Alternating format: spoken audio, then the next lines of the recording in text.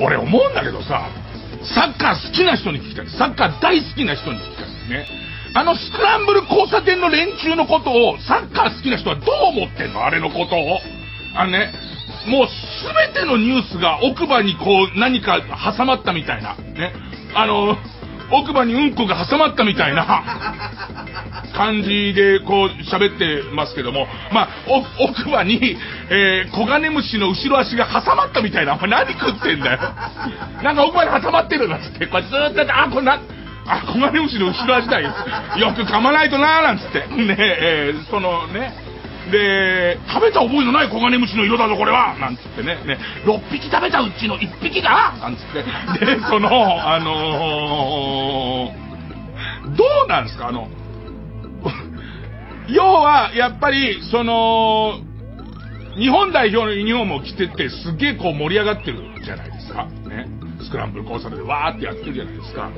で、あそこのことは絶対悪く言えないみたいな空気が僕はニュースが支配してると思います。あそこを言うと、このニュースもみんなに嫌われちゃう。要するに日本代表を応援してる人を叩くと、嫌われちゃうみたいな弱腰があると思うんですけど、正直日本代表のサッカーを応援してる人も、あいつらのこと嫌いであってくれと思うよ、俺は。ね。で、その、な、わかんねえけどさ、ハイタッチする理由は何、何なの？何なの？で、あの、これはね、ちょっと思うのは、そこまでは何とも、えー、っと、否定しがたいから、あの VTR がある人は見てほしいんですけど、わーってなってるじゃん。で、みんなハイタッチしてたりとかさ、なんか肩車してわっしょいわっしょいやってるじゃん。やってる人を、まあなんか仲間だと思って撮ってる人もいるでしょう。で、今俺は渋谷のスクランブル交差点に来たけども、なんかバカが騒いでるわと思って、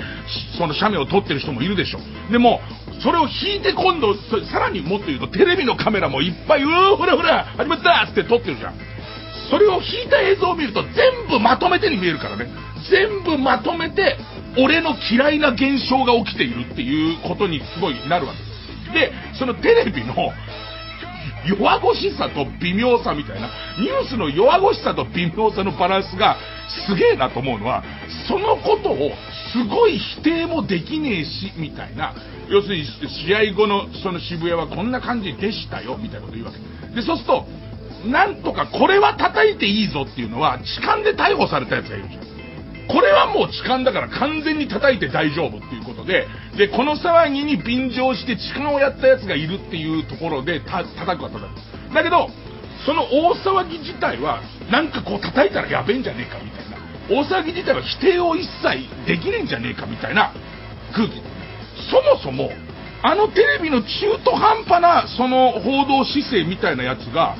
スクランブル交差点を騒ぐ場所として認知した感じがすごい俺あると思うんだよね。あそこは日本代表のサッカーの試合の後はああなるもんなんです、みたいな。あそこにみんな集まりましょう。警察もカメラも万全で待ってますぐらいの空気に俺なってると思うんだよね。だけど、DJ ポリスも見に行きましょう、みたいな。なんかそう DJ ケオリーも見に行きましょう、みたいな、そういう感じの、ね、それがすごい出てるじゃないですか。で、その微妙な上司を叩きたいけど、なんかこう叩けない、その何か一言言いたいけど言えないみたいな空気感を、僕はすごく、あの、象徴してる感じっていうのがニュース見てたら、あのことを言うじゃん。ね、あのことをなんかこう、奥歯に物の挟まった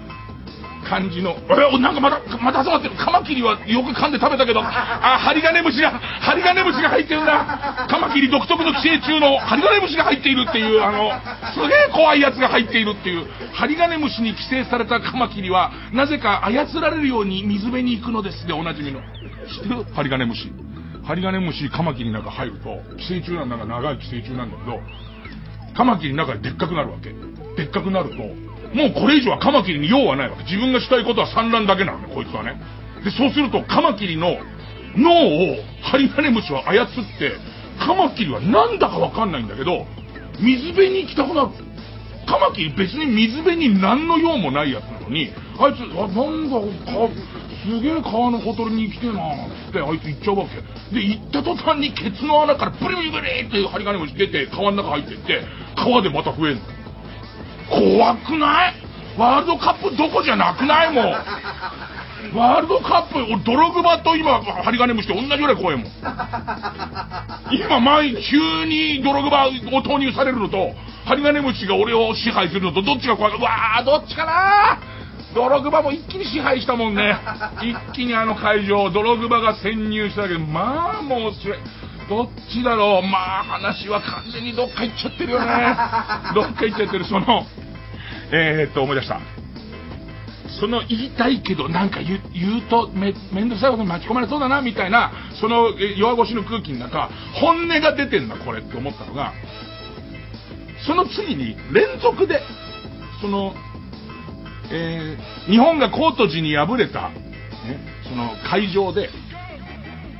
日本の応援しに行ったサポーターの人たちが、最後あんなに悔しい負け方をしたのに、スタジアムのゴミを拾って帰りましたっていうことが、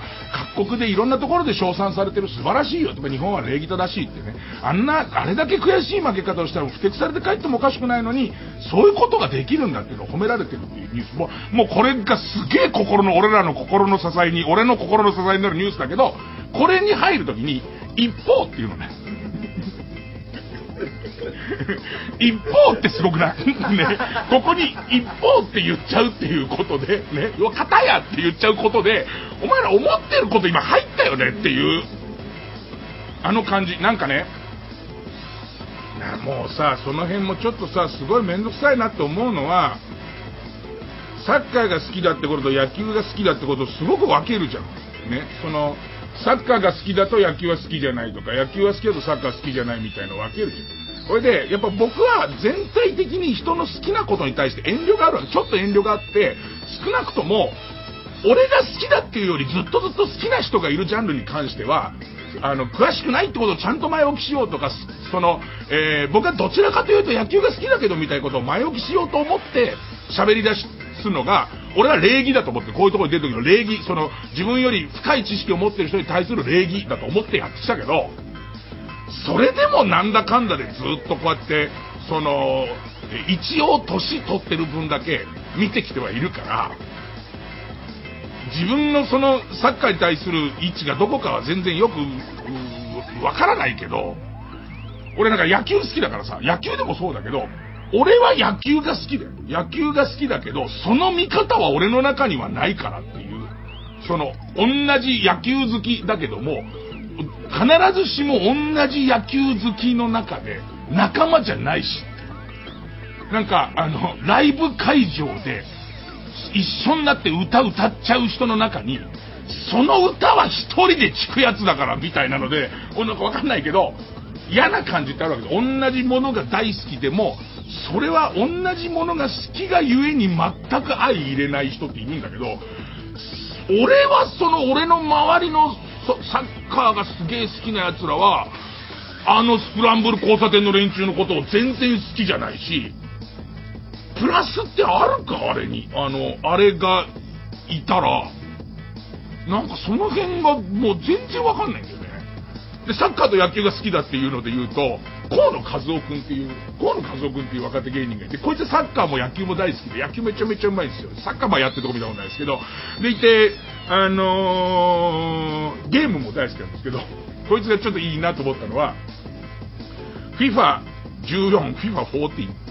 要するに2014年版の FIFA サッカーのゲームがあって、これすげえよくできてるんですよ。でいて、まあ、すごくそのサッカーゲーム好きな人はめちゃめちゃやるんですけど、その中にワールドカップモードって